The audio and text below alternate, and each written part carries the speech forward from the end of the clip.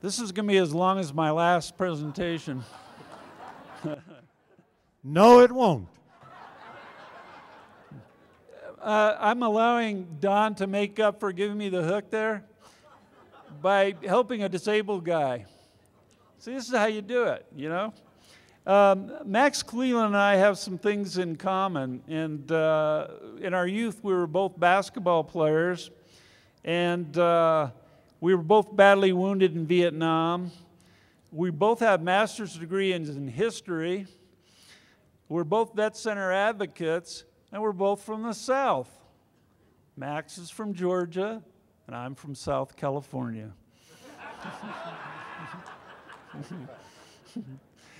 yes.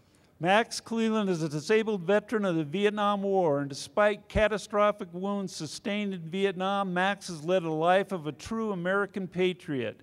I suspect in many ways it is because of those wounds that he has been able to do these work, not just, not just as a result of. He's an author, he's been at the at the fore of Georgia state politics, been a U.S. Senator from Georgia, served courageously on the bipartisan panel investigating the 9 11 terrorist attacks. He's uh, an administrator with the Obama administration, secretary of the ba- American Battle Monuments Commission. And for us in RCS, he was the administrator of the Veterans Administration that gave us our program. He's also written a recent book, which I was reading last night, and it is wonderful. He talks there where how he battled his own demons of war and utilized that experience to help other vets and their families. That's the Vet Center way. That's what we do. I give you a patriot, Max Cleland.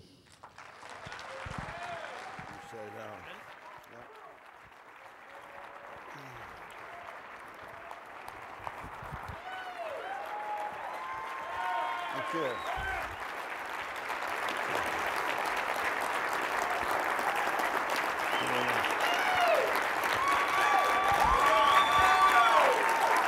Thank you.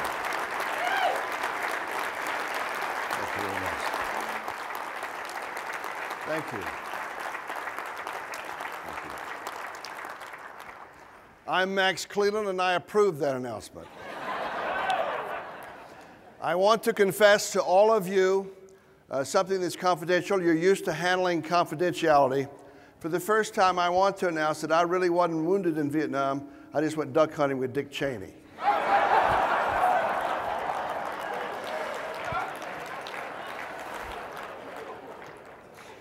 I am from the South. I grew up in a little town called Lithonia, Georgia. And uh, when I was growing up, we only had three churches. We had the Baptist church, the Presbyterian church, and the Methodist church. And on a still summer night, you could sit out on your front porch. This was back before air conditioning came to the South and brought us a bunch of Republicans. and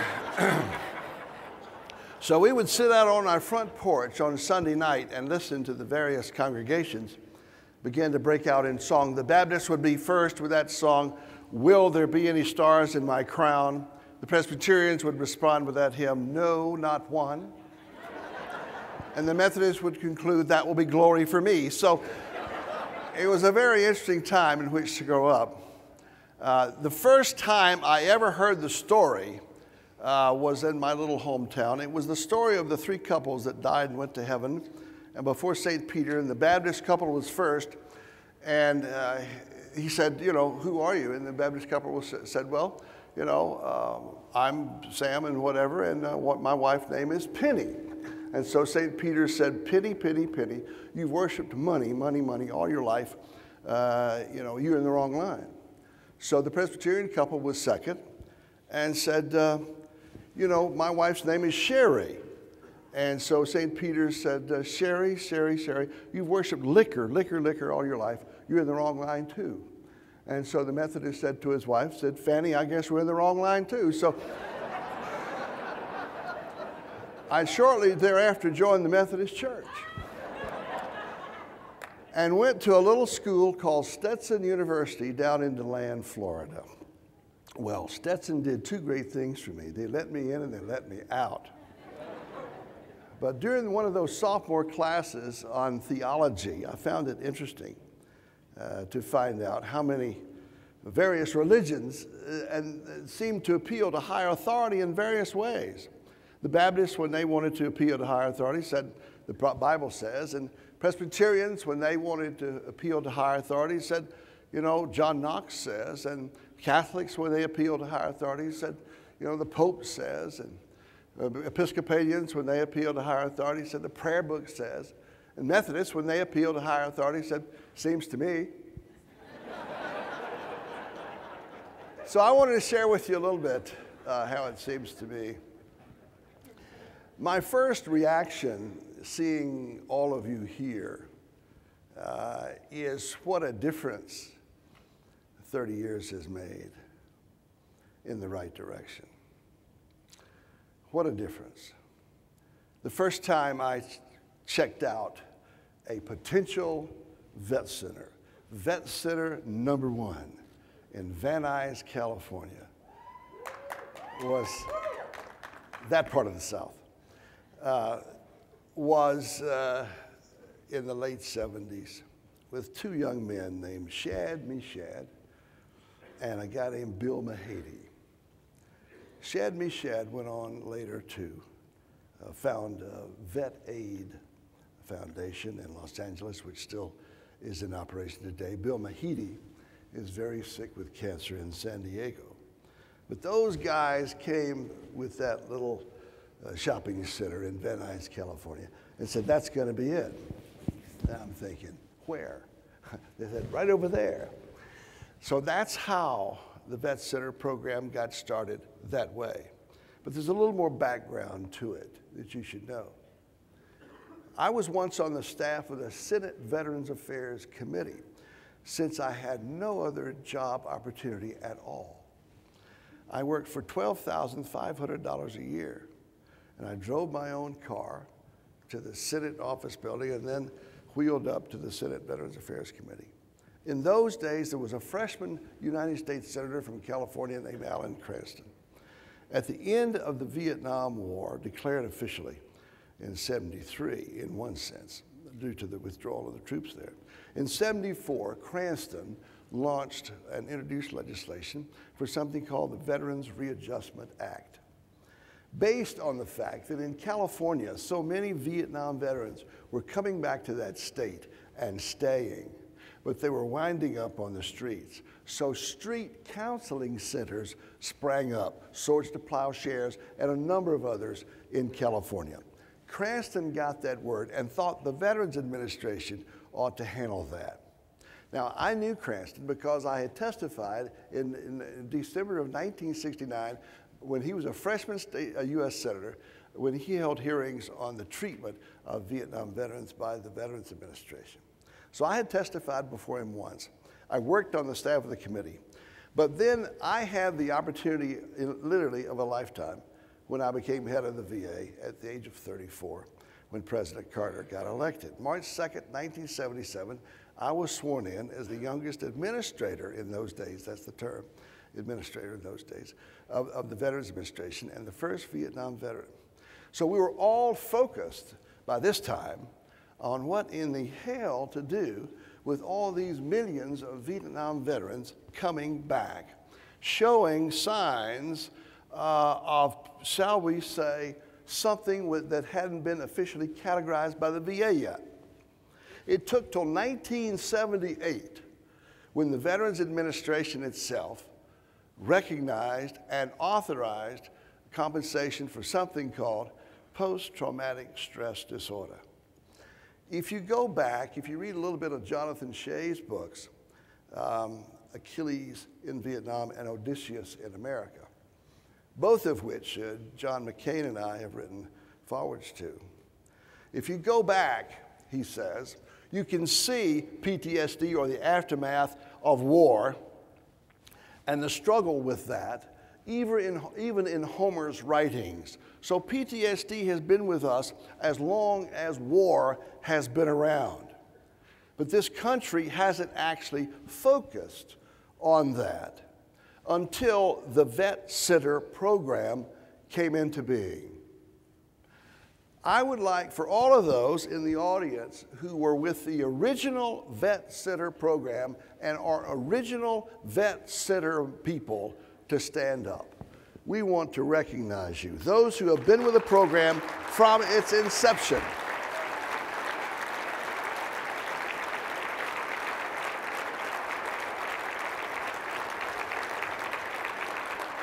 Thank you. And 30 years is a long time. Uh, as I look out at you, I think, Lord have mercy. Never did I ever envision the sense in which an entire magnificent room full of counselors would be on the face of this globe. But we have that now because not only do we have the aftermath of the Vietnam War, we have the aftermath of other wars, and now we have new wars Iraq and Afghanistan. War, it seems to me, is life on steroids. It rushes up life and it rushes up the tragedies of life. It was Ernest Hemingway who put it very succinctly. And the reason I'm a Hemingway fan is because he went to war. He got wounded in war, World War I. After which, about 10 years after his, his war, 1929, he wrote a book called A Farewell to Arms, in which he said, The world breaks us all, and afterward, many are strong at the broken places. I felt that I had to talk to myself and if somebody else wanted to listen, that was okay. So I started a writing project just to talk to myself basically in 1975. And for five years, I worked on a book that I later titled Strong at the Broken Places. Some of you have referred uh, the fact that you have read it. Thank you. Now, Hemingway's A Farewell to Arms has sold a hell of a lot more books than mine. I want you to know that. But I think that you all and me all and all of us as Americans should be involved in helping those who go to war and who survive it to come home and get strong at the broken places.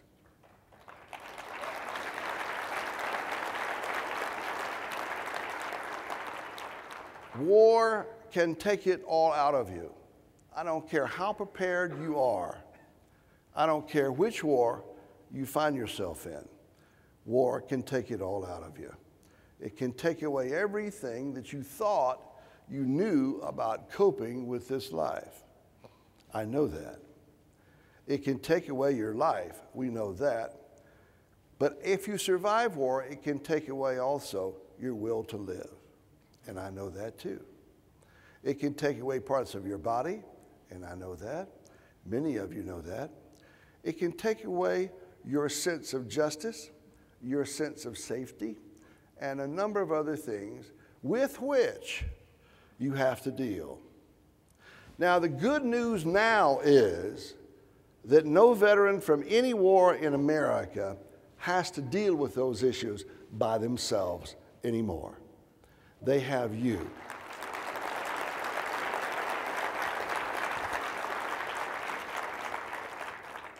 As administrator of the Veterans Administration in the late 70s, I find it, as I look back, very insightful that the Veterans Readjustment Counseling Act, from the beginning, included two things that I think are absolutely critical. First of all, that is the only veterans benefit that I know of that includes families automatically. Secondly, although health care information is generally considered confidential, the confidential nature of the counseling program or the discussions or the rap groups or the sharing in a vet center program is absolutely essential. More and more, we are seeing now, as you all are learning, that the Vet Center program is not just for veterans, shall we say, anymore. It is for more and more active duty personnel in a series of endless wars which Iraq and Afghanistan personify. And now, Guard and Reserve, since they are treated as active forces, are now getting, in, in many ways, access to the Vet Center program. Well, it's interesting too that Shad Meshad, who helped put together the program, the initial program, and I've given Al Batres some of the interesting history in that regard, was called upon a few years ago by the Soviet Union to deal with uh, Afghanistan veterans from the Soviet Union's incursion into Afghanistan. So this is not just an American problem or a DOD VA problem, it's a worldwide problem. When people run up against trauma and they experience total helplessness and total powerlessness, you never, ever forget it. Whether it's war or whether it's a seismic earthquake or whatever. But you all are specialists in something that the world needs more and more, and especially here in America. What is a vet center? What is the uh, series of elements that lead to an individual getting strong, even at the most broken places of their lives? I've thought a lot about it, and a lot about it recently, because after 2002, after I lost, uh, I look at my, my own life. Jimmy Carter and I uh, were retired from politics due to illness. The voters were sick of us. So, uh, I went into my own massive, deep, dark depression where I did not want to live. I had lost every sense of coping, uh, or every sense of having a coping mechanism left to me. And I came to a point where I did not want to live. I found myself, quite frankly, even though I'd gone to a vet center from time to time, back in trauma counseling at Walter Reed uh, for about three years. I found myself on medication. I found myself writing another book. And so, um, what I've learned is, is several things. First, uh, I think it is critical to tell the story. The Vet Center program allows a wounded spiritually and emotionally, and maybe sometimes physically, veteran or family member or series of family members to talk confidentially about their story. If one can somehow process enough and communicate enough and share enough about their own story, somehow, as screwed up as that story initially sounds, as things go on, as time goes on, believe it or not, there is something that happens inside the brain, inside the psyche of an individual that says, somehow this shit is making sense.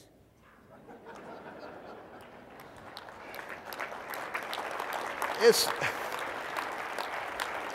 it's called it's called talk therapy, but it's much more than that. I mentioned Ernest Hemingway, but another of my favorite authors is Viktor Frankl. Viktor Frankl survived the death camps in World War II, and he came back and wrote a book called Man's Search for Meaning. That search for meaning is something I think we all undergo. But if we have been subjected to trauma, war, powerlessness, helplessness, and all the other tragedies of life, the search for meaning becomes absolutely crucial to our survival. We must find some kind of meaning or understanding that is acceptable to us in order to survive. Frankl puts it this way To live is to suffer, he said. To survive is to find meaning in suffering. I'm on the American Battle Monuments Commission now. I'm the secretary of the American Battle Monuments Commission. I wondered how in the hell I could ever be a secretary, a government secretary at that. You know, I can't type and I don't have pretty legs. So what the hell is this secretary stuff? I don't understand it. But I got the title secretary. So the, but, but I, I learned that in World War I, Archibald MacLeish, who later became Librarian of Congress and a Pulitzer Prize winning poet, wrote about his younger brother who was killed in World War I, now buried at Flanders Field. And he said at the end of the poem, the poem was called The Young Dead Soldiers Do Not Speak. And at the end of the poem, he says, We leave you our deaths, give them their meaning.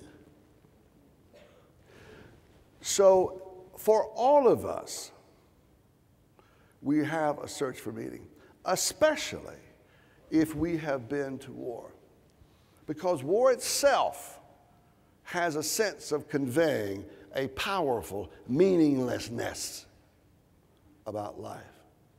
If you think, as I have often done, as a Vietnam veteran or an Iraqi veteran or an Afghan veteran, that somehow there's a growing sense of meaninglessness about your service and your sacrifice, I ask you to tune in every Sunday night at 9 p.m. Eastern for the HBO series The Pacific and see the horror, literally the horror, of the Marine Corps trying to tackle these Japanese infested islands.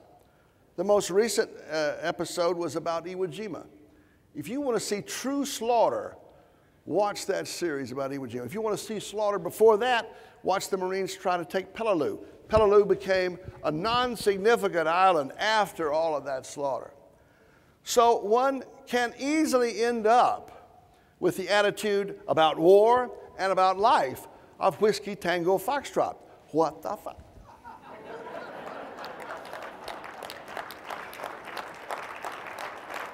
That's where we come in. That's where you come in. First of all, tell the story.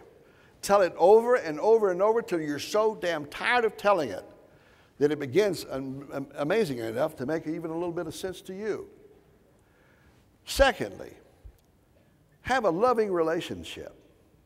Now, the group itself can become your higher power, your meaningfulness, your sense of power in the world, your sense of loving, your acceptance of love.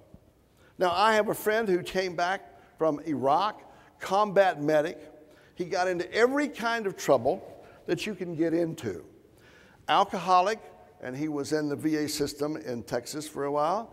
Drug addiction, he was in a drug addiction uh, program for a while. Jail time, six months. So let's just say this gentleman was not exactly slated for success. But he found a cat in the pound. True story. He put that cat on a leash. And that cat became his buffer with society. He has massive PTSD, if you really want to call it that. He cannot cope alone against the elements in life. And this cat has become his new favorite, loving best friend.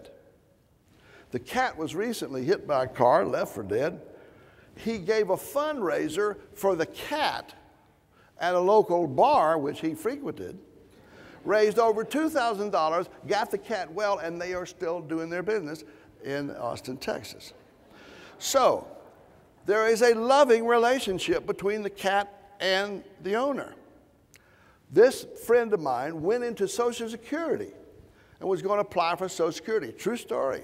And as you well know, when a veteran runs up against bureaucracy, you know, and wait a minute, Vines, uh, in terms of office stuff, uh, there is not much patience there, let's just put it that way.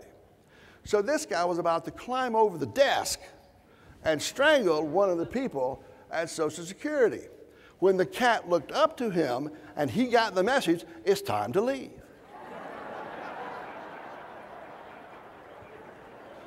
Whatever works. Telling the story helps.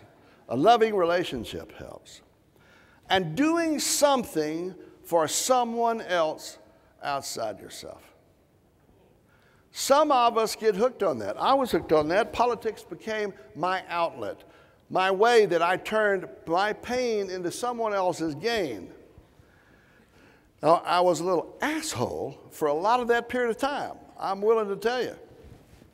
But I tried to do some good along the way. I can tell you right now, looking back over 40 plus years of public service, the Vet Center program is the best thing that I ever put together.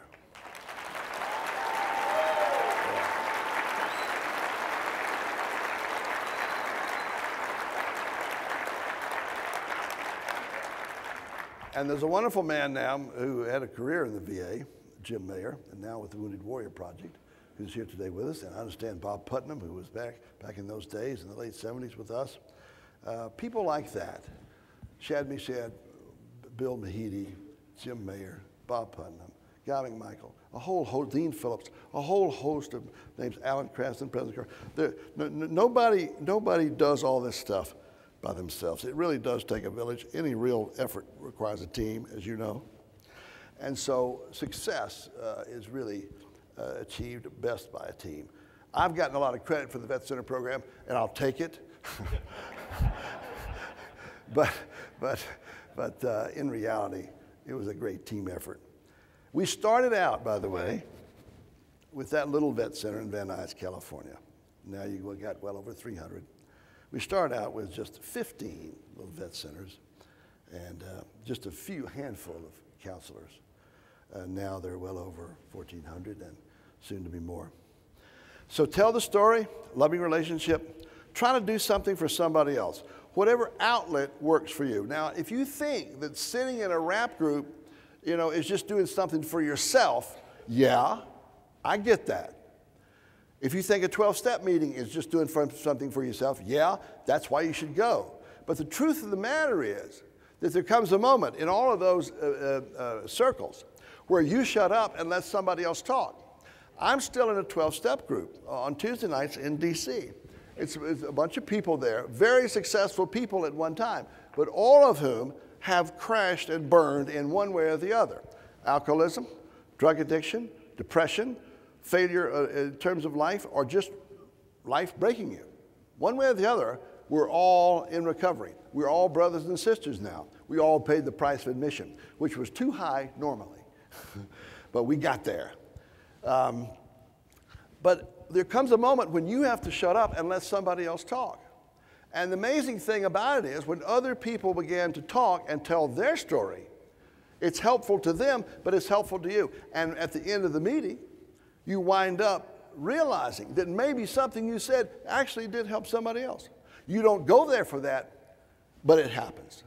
So you find yourself as part of a group, as part of a team in which you share and they share and you listen. One of the great things that I've learned, believe it or not, as someone who likes to talk a hell of a lot, is to shut up and listen, believe it or not. And I find that I end up doing things for other people and not even aware of it, not even conscious of it. But there I am. So you realize that your life begins to take on a little meaning, even accidentally. You don't start it out that way, but it may end up that way. That's God's stuff working. I really do believe it. Tell the story, have a loving relationship, even if it is with a cat on a leash get out of yourself somehow. Do some kind of work, some kind of effort that benefits one other human being on the planet. It will give you more meaning and purpose and direction than you ever suspected. So many of you are here today because you came to the Vet Center program maybe just as a work study person, and you're going to get the hell out and go back and do something else. But you decided to stay. You found certain fulfillment here. And those of you who are, shall we say, new to the program, are new to the, to the Vet Center world, it is a family. I find it fascinating uh, that Al Batres, one of my heroes, has said that this is the program in the Veterans Administration that is best liked by the people in it and best liked by the people it serves. There's something good going on here. Some good going on here. Tell the story have a loving relationship, make sure that you try to do a little something for somebody else and have a sense of humor. You know, I don't think I picked up a sense of humor until I absolutely had to. That was back about 1968 at Walter Reed in something they call the snake pit, where they put the young officer amputees. Minimum award for heroism there was a Silver Star. We had one guy there with a DSC. All of us had lost something. All of us were young tigers, as the book says, young eagles made into a movie. But we were young tigers. And I didn't really have a real sense of humor until I absolutely had to. Now, in those days, it was relatively gallows humor on the ward. Uh, it had, but it had a cutting edge to it, you know. There's a reality to it, but then you try to make fun of it. Uh, sometimes borders on gallows humor. Uh, we realized that the superior officers at Walter Reed knew us better than we knew ourselves. They did not allow two things in the snake pit. This is true at Walter Reed in 1968. They did not allow chaplains or young nurses. Believe, we believed in one, but not the other. You can pick. One time on ward rounds, just to break the tension, somebody put a blow up doll, a plastic blow up doll, in the bed, an empty bed, put a sheet over it, and put some stockings on the end of the. That was a, a long day. Another time, the guys in the snake pit saved up their drugs and oranges and apples and stuff. And when the little night nurse with her tray of good night boys sleeping pills came in, her name was Ms. Weekly. Can you imagine that? The guys rolled all that stuff under her feet. She spilled all that.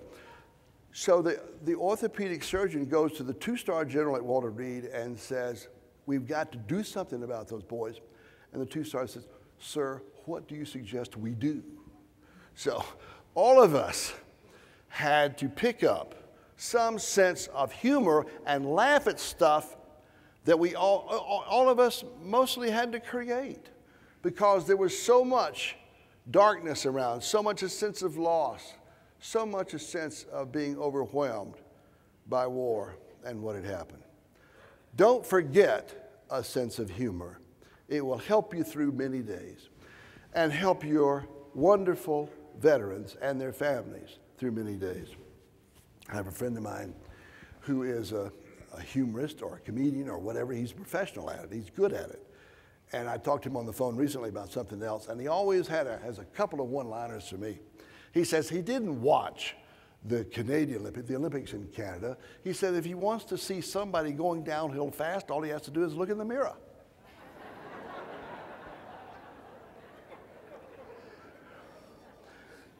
Heard one the other day that I like very much about the elderly lady who goes to the doctor and she says, you know, doctor, my husband is not performing. And uh, so he says, well, give him a little Viagra. I said, well, he won't take that stuff. And he said, well, here, just a little bit. Just slip it in his coffee. So two weeks later, she comes back. She says, oh, Jesus, you know. And he says, what's wrong now? She says, I put it in his coffee. And boy, he began to perk up. He, you know, he was alert. And all of a sudden, he just nailed me right there on the table. And she said, he, the doctor says, what's, what's, what's wrong now? He, he says, we can't go back to Starbucks anymore. so.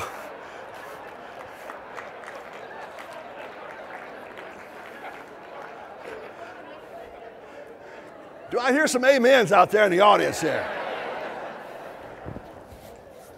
Milton Berle, who I got a chance to meet once before he passed away, said that laughter is an instant vacation. Laughter is an instant vacation.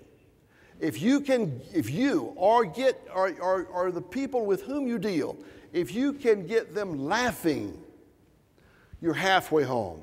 Laughter indicates a certain perspective. Norman Cousins, many years ago, when Jim Mayer was my executive assistant and, I was head of the VA, and we, I met with Norman Cousins.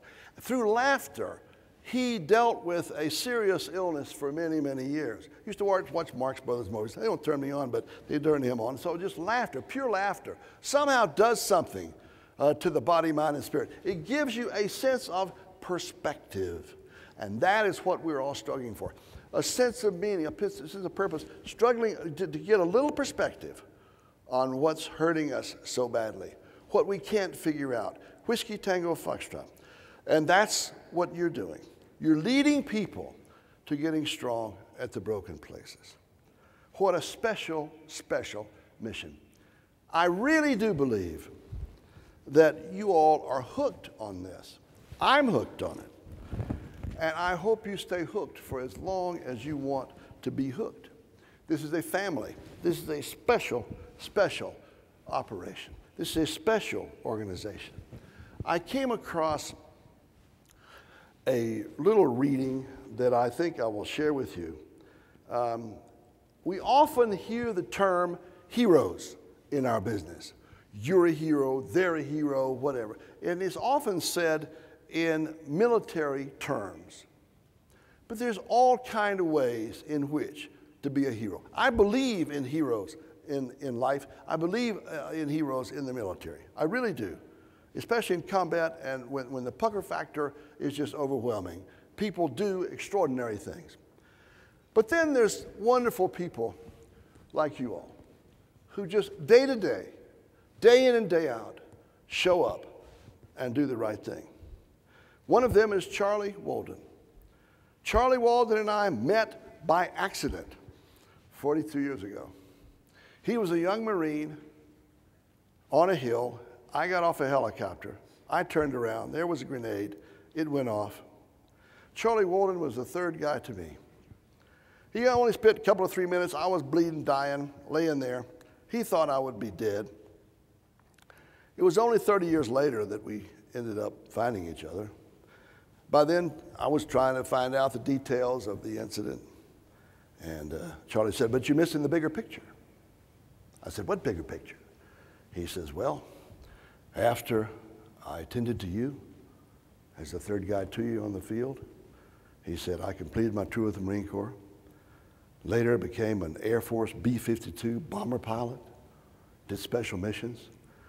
But he said, You know, they don't let you fly a B 52 bomber pilot uh, be a B-52 bomber pilot having PTSD. he said, a vet center in California saved my life.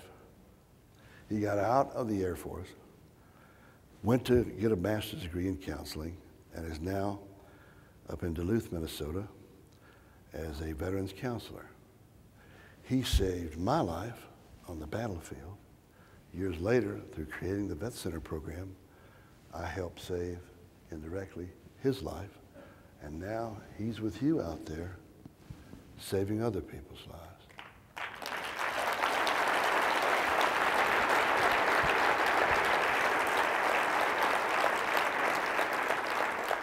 So, I'll leave you these words. This is the way I feel.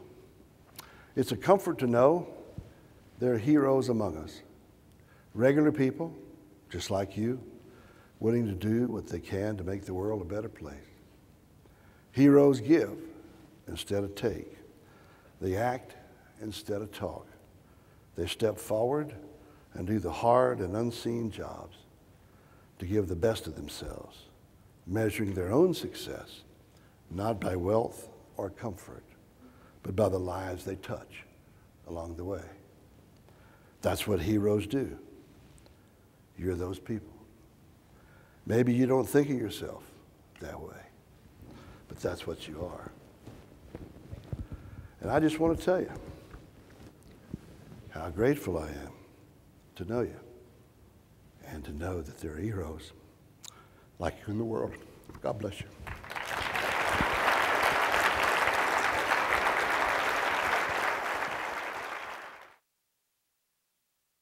On behalf of the uh, Vet Center program, let me thank you from, you know, every one of these human beings, they work every day to do what you just described. We want to thank you because if it weren't for you, we wouldn't be here. And your influence on, on the VA administration is everlasting, and we just want to give you a token of our appreciation from the heart. And I hope you come back and visit with us periodically because Not only do we respect you, but we love you, brother. Thank you. Thank you.